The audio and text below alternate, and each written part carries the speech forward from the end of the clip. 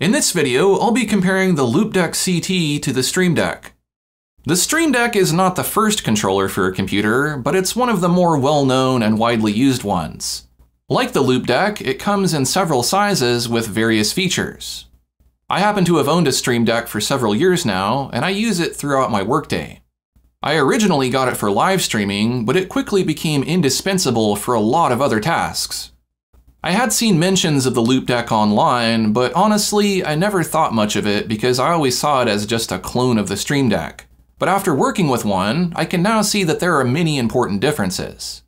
First, one of the key differences is that the Loupedeck only has a touchscreen, while the Stream Deck has physical buttons overlaid onto a touchscreen. I'll come back to why that is important later.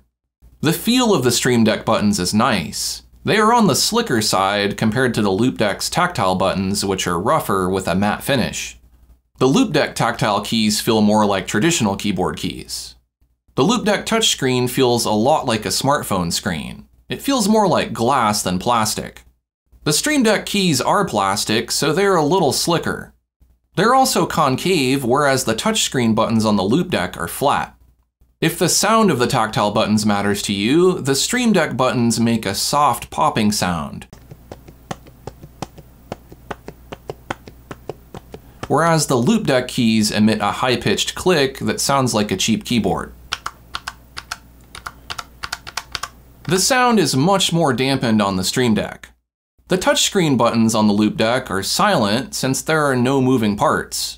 This could be a huge advantage if you're concerned about noise polluting your audio recording. The button sensitivity is about the same on both devices in regards to the tactile buttons. The touchscreen on the Loupedeck CT is more responsive because there is no button between your finger and the touch surface. It doesn't take a lot of force to press the Stream Deck buttons, but you do need to make contact with the screen. Both the Loupedeck CT and the Stream Deck Plus feature touchscreens. You can tap and swipe the screens on both devices, but on the Stream Deck Plus, you can also tap and hold to access commands. Both devices allow you to customize the brightness and can be quite bright or very dim. They appear to be equal in maximum brightness. One difference in the screen is that when viewing it from a steep angle, the Loupedeck gets a lot dimmer, but the Stream Deck gets distorted by the concave button shape. In regard to the device orientation, the Stream Deck is more adaptable because it doesn't have as many controls and physical labels. The Stream Deck features a quick orientation preference that allows you to set up your device vertically or even flip it upside down. The Loupedeck has a similar feature, but you program it to a button. In either case, the icons will reorder automatically, which could be good or bad depending on your expectation. Fortunately, it's easy enough to manually reposition the buttons. Another control option available are the dials which are included in the Loupedeck CT. The older Stream Deck I have does not have dials, but the Stream Deck Plus does. The Loupedeck CT has a larger number of dials. You can press the dials to perform additional commands on both devices. Both devices make it quite easy to export and import your settings. I recommend backing up these settings often. I haven't lost profiles on either of these devices, but do it just in case you have an issue with your computer or you need to move your settings to a new computer. The Stream Deck includes an adjustable stand, though I don't use it because the device is more ergonomic and stable without it. It's a cheap plastic stand that's not very impressive anyway. As far as customizable parts, the Stream Deck Plus offers custom dials and faceplates. Nothing like that is offered for the Loupedeck CT.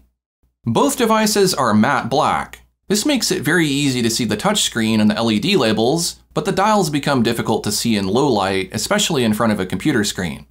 I was going to poke fun at someone who would spend money on custom dials, but now I see that I was wrong. I suppose you could put a small round sticker on each of the dials to increase their visibility. You'd think with all the LEDs on the Loupedeck CT, the dials would be illuminated too. The dimensions of the Loupedeck CT are 6.2 by 5.9 by 1.18. That's in inches. Most of the depth comes from the dials. Without those, it's maybe only half an inch thick. The Stream Deck I have is smaller overall at 4.6 by 3.3 by 1 inch. That's without the stand, of course. The newer Stream Deck Plus is more comparable in size to the Loupedeck CT, but it's much thicker at 4.3 inches. I think this is because the device is already pretty thick, but when you add the dials and built-in stand, it gets even thicker. In terms of build quality, the Loupedeck CT features an aluminum cover whereas the Stream Deck is all plastic. One thing I can't comment on is how the Loupedeck will last since I've not had it very long. The Stream Deck has been going strong for about 3 or 4 years. Both devices connect through USB, but the Loupedeck CT has a detachable and replaceable USB cable, while the Stream Deck cable is fixed. Should this cable become severed, I'd have to buy a new Stream Deck. Fortunately, the newer versions have detachable cables as well. There isn't any internal storage on the Stream Deck, but the Loupedeck CT has 8GB.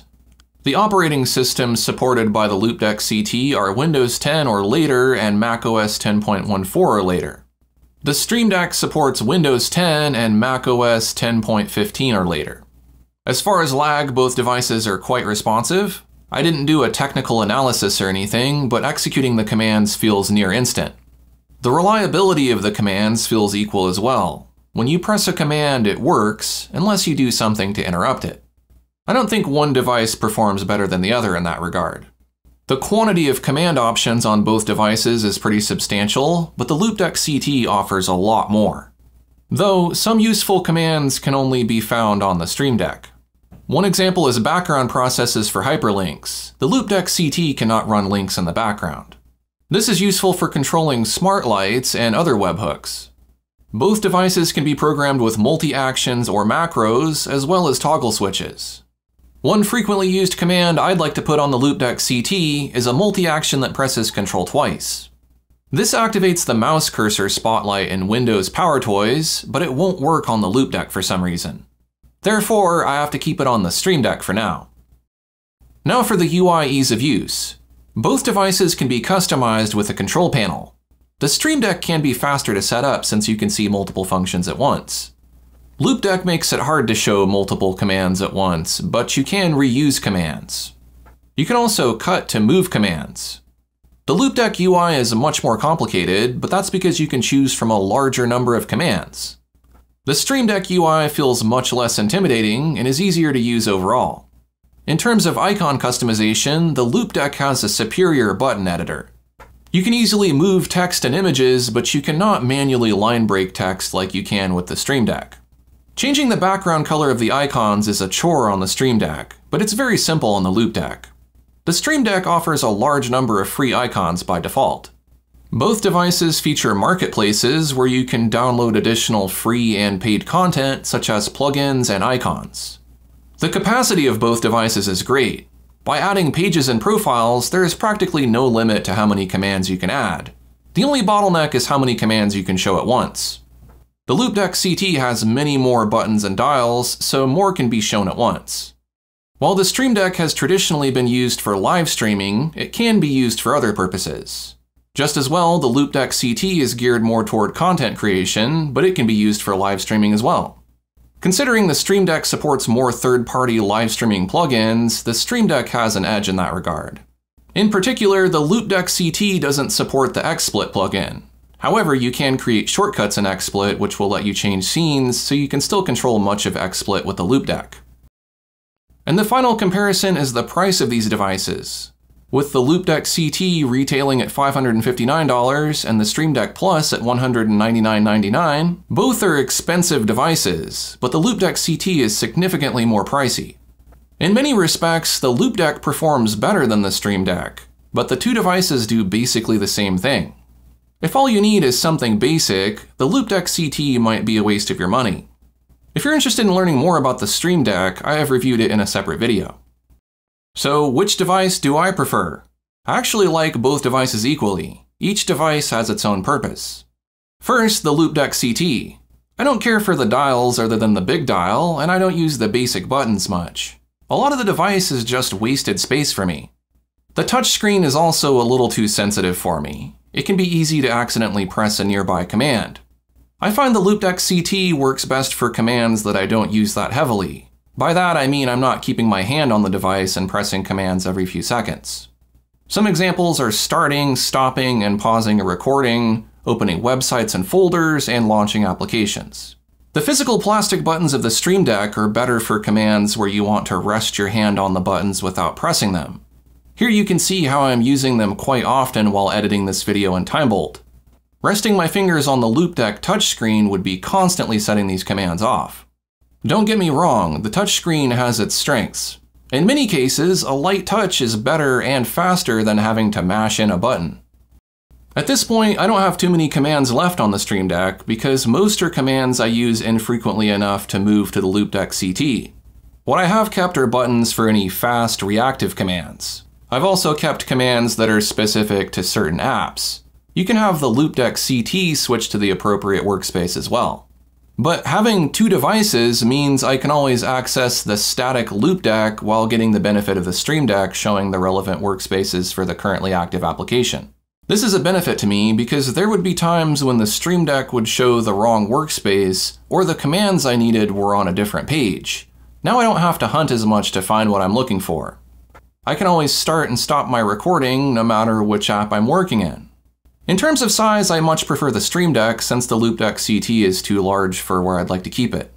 Had I not received this for free, would I have gone out and bought one? At almost $600, definitely not.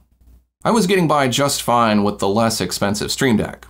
If I could get the best of both worlds and have physical buttons with a touchscreen background on the Loupedeck, would I buy it? Probably not if it's almost $600. I can get the newer Stream Deck Plus for $200 and it comes with dials and a touch strip. It's too bad that the software isn't as good on the Stream Deck. What I would like is the software from the Loupedeck with the buttons and price of the Stream Deck. Would I recommend buying both devices? Sure, if you don't mind spending almost a grand on controllers, but I think it's a matter of time before either Stream Deck closes the software gap or Loupedeck overlays tactile keys on their touchscreen. That's all for this comparison. If you're interested in more reviews of products for content creators, be sure to subscribe to my channel. Thanks for watching and stay creative.